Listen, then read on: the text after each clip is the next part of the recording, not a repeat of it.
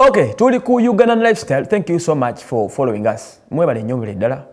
Kansubire muli bulungi nnyo. Bamiss kadama mbabuuzizaako nnyo empaka zaffe zigenda maaso. Ate nga dokita wange omulungi dokita senjobe richard biv organic oli otya? Awo osinzirira okuba nga otuweereza.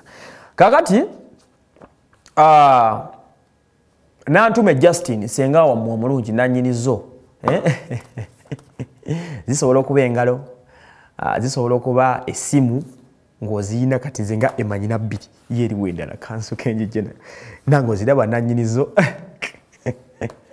kyonna kyekiri eh, nanyinizo naye abamwinenge gye mukitamingamu naye eyo oyo Just- justin nantume. Justin ono twafunyemu akale ntuwa yamuko naye mwabirabye Uh, mukyagezako atanabiraba noonya justin nantume ku mukutu ojja kuba omulaba twanyumirizamu emboozi mpanvu ddala.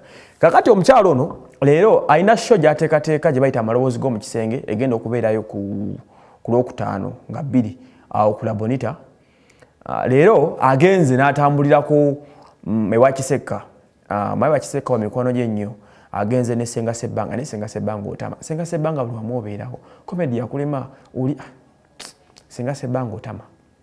Buli wamu buli wamu buli wamu buli wamu. Anyway tewali buzibu kale kyekiri kyonna.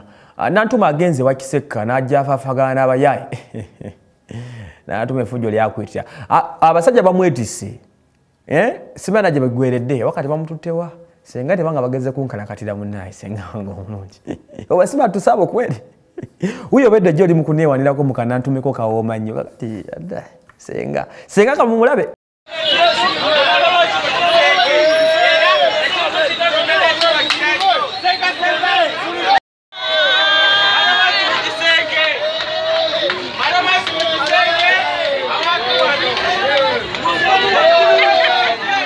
naye nga obulaba bamutute mikwano gye nnyo era omu ku basponsors ali awo asponsorinze sheeyo atunda bintu bya gundi bya bya motoka spare parts. Abulaba bamutaddemu akasente akawerako so that shono esobola okuba nga ebaayo bami senga thank you so much for the good work you're doing for this country.